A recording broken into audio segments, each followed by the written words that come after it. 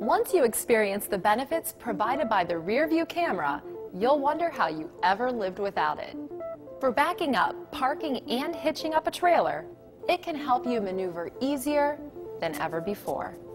The rear view camera works by sending an image of what's behind your vehicle to either your navigation system screen, if equipped, or to the left portion of the rear view mirror.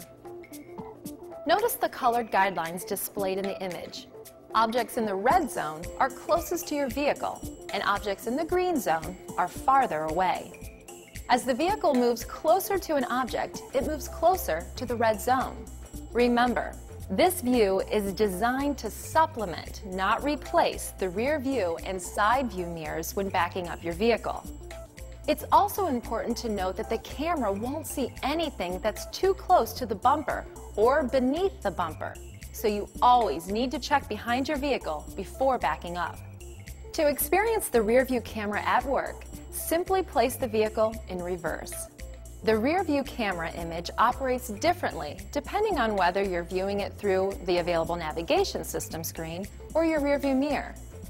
If viewing through the navigation screen, the image will remain until the vehicle's forward velocity reaches 5 miles per hour or until you press any navigation system button. If you have the optional navigation system, you should note that the default setting for the rear view camera delay feature is set to off.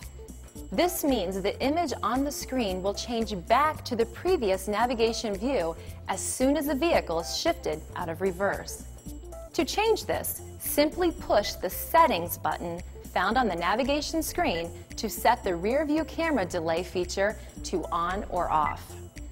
If you're viewing the image on your rearview mirror, it will stay on the mirror for two minutes while you're in reverse or for three seconds after shifting out of reverse. If you ever experience an image that's blurry or distorted, you'll want to check the lens to make sure it's free of snow, mud, or any other debris.